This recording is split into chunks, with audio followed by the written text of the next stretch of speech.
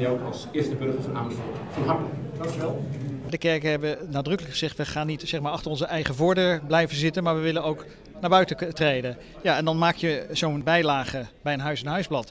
Ik vind dat wel uh, leuk, maar ook spannend, want daar zal ongetwijfeld op gereageerd worden. Wat ik eigenlijk wel grappig vind eraan is uh, hoe we de binnenstad mooi profileren op een andere manier die we in Amsterdam niet kennen. Ik vind het hartstikke mooi geworden. Het leuke is dat uh, hier duidelijk ook tijdschriftenmakers mee aan de slag geweest zijn. Ja, ik ben er trots op, maar ook wel heel bijzonder naar de medewerkers, want je bent, geeft mee leiding aan om het proces te doen, maar zij hebben het met elkaar gedaan. Dat is bijzonder. Dit soort dingen doe je als, als uitgever niet zomaar, want ja, het kost allemaal heel veel geld om 70.000 van die bijlagen te maken en dat soort dingen. Maar het is ook een mooi visitekaartje naar onze lezers. Er staan een paar uh, plaatjes over de pleinen, de Hof en die Vrouwenplein. En uh, die, die krijgen toch in één keer een hele andere sparkling dan, dan wat we gewend zijn. Dat, dat, daar word ik heel blij van. Wat voor gevoel geeft het nou dat nou ja, waarschijnlijk 150.000 mensen dat krantje kunnen zien?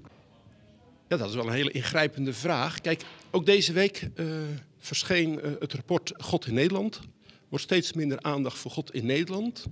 En dat is een gebeuren wat duidelijk is. En tegelijkertijd, en zeker hier in Amersfoort, merk je dat er heel veel vragen naar ons toe komen. Waar gaat dat verhaal eigenlijk over? Daarom hebben wij ook gezegd van...